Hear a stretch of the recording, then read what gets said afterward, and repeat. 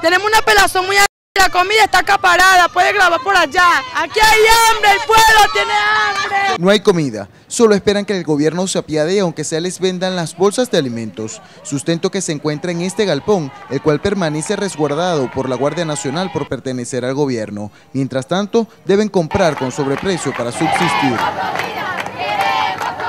No es justo que tengan todo ese poco de comida ahí, ¿verdad? Venciéndose harinas con coco, arroz con coco y nosotros, muriéndose, nosotros muriéndonos de hambre, no es justo. Que, no es justo que uno tenga que darle a los muchachos, ¿verdad? El agua de arroz sin azúcar porque ni siquiera el azúcar la consigue y ahí con los sacos de azúcar. Altos funcionarios del gobierno están acaparando los alimentos y son los que tienen al pueblo pasando hambre y necesidad.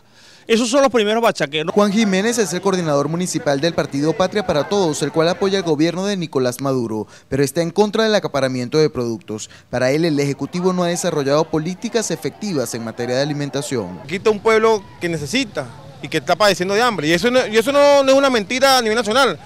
Aunque seamos revolucionarios, tenemos que ser conscientes de que en verdad necesitamos y este pueblo necesita. No es posible que yo tenga un hijo de seis meses y tengo que comprar pañales a 3 mil bolívares bachaqueados. Le pido al gobierno nacional, como militante y como revolucionario, que hasta cuándo los corruptos.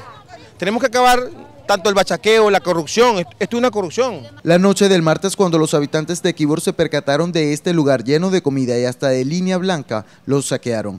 Guardias y policías nacionales intentaron calmar la situación al parecer detonando armas de fuego y golpeando a personas en medio de la oscuridad luego de haber quitado el servicio de energía eléctrica. Llegó el guardia, la arrastró hasta que ya. Y el hijo de ella, como la estaba defendiendo, él estaba defendiendo a la hermana mía, llegaron y le brincaron como avispa. Eso no puede ser. Los que están aquí están, estaban agredidos. Y empezaron a amedrentarnos, empezaron a tumbar a las mujeres, a jalarlas por el pelo, a golpearlas. Mi mamá la arrastraron por el piso, un guardia uniformado. Golpearon a una muchacha de 17 años, a un niño de 14, a otro niño de 16 y los tienen detenidos, supuestamente por saqueadores. La decadencia que se vive en el municipio Jiménez es grave. Algunos tienen dinero pero no qué comprar, otros comida pero no con qué cocinar, como los habitantes de dos comunidades en el camino hacia Kibor, donde viven unas 500 familias que desde hace tres semanas no reciben las bombonas de gas. Por eso cerraron el paso en protesta. Nos vimos obligados, nos vimos en la necesidad de cerrar la vía